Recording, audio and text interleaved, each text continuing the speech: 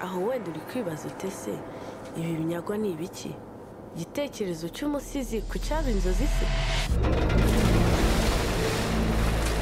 Well, if I had to say one thing about the internet that they didn't know, is the biggest misconception. Most people seem to think that it's all satellites and it's all wireless now.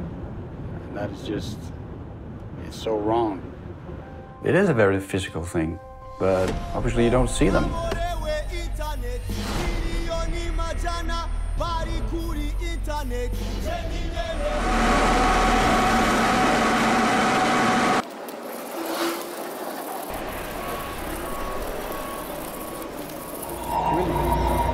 We know that the internet has been turned into the greatest instrument of mass surveillance in the history of mankind. 98% of the world's data travels under the oceans. It's a phenomenon that seems everywhere and nowhere at the same time.